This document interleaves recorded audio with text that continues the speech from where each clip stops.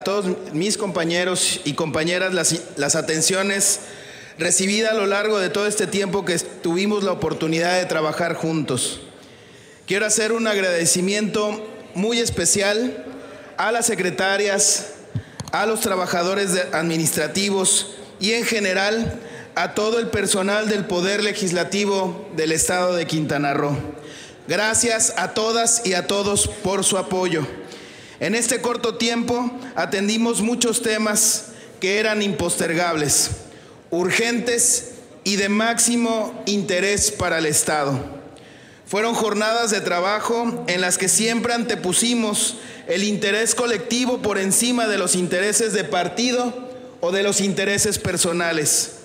Gracias a ese compromiso y al estilo de trabajo conjunto, logramos, entre otras cosas, echar abajo el paquete de impunidad, construir y poner en marcha el sistema estatal anticorrupción y logramos hacer una reforma electoral de alto calado que permite a las y los ciudadanos participar por la vía independiente con más facilidad.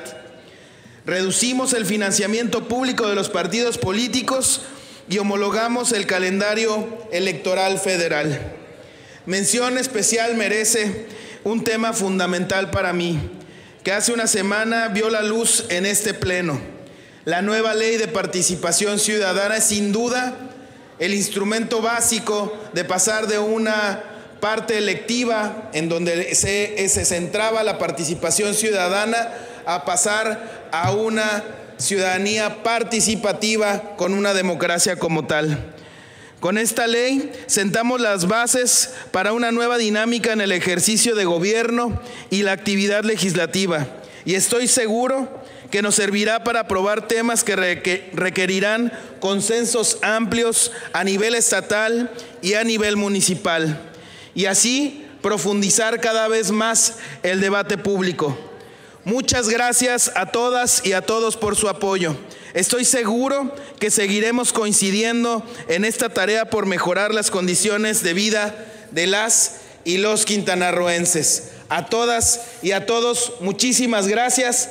Y a los que votaron por un servidor del Distrito 14, muchísimas, muchísimas gracias por esa gran oportunidad de dar resultados en esta decimoquinta legislatura. Muchas gracias.